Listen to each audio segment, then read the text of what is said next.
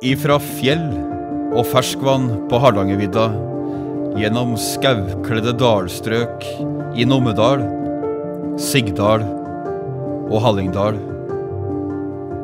Over de flate jordene på Ringerike og Eiker, og ned til brakkvannet som skvulper i fjæra ved Drammenselvas munning, så har vi Buskerud.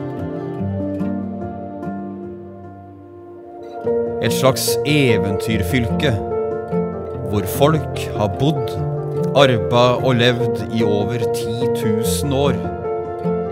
Helt siden de første menneskene slo seg ned langs elva for å skape et liv. Buskerud er historien om jordnære folk som sår og høster. Som forvalter jorda, skauen, vannet og kua. Sånn at dem som kommer etter, kan fortsette å gjøre det samme.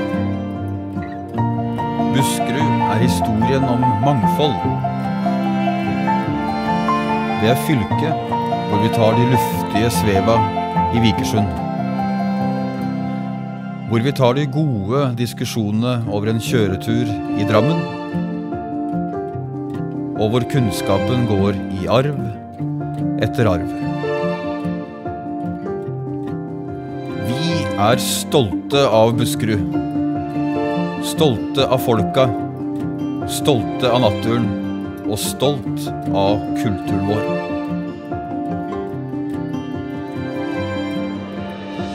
Her lever vi i både by og bygd.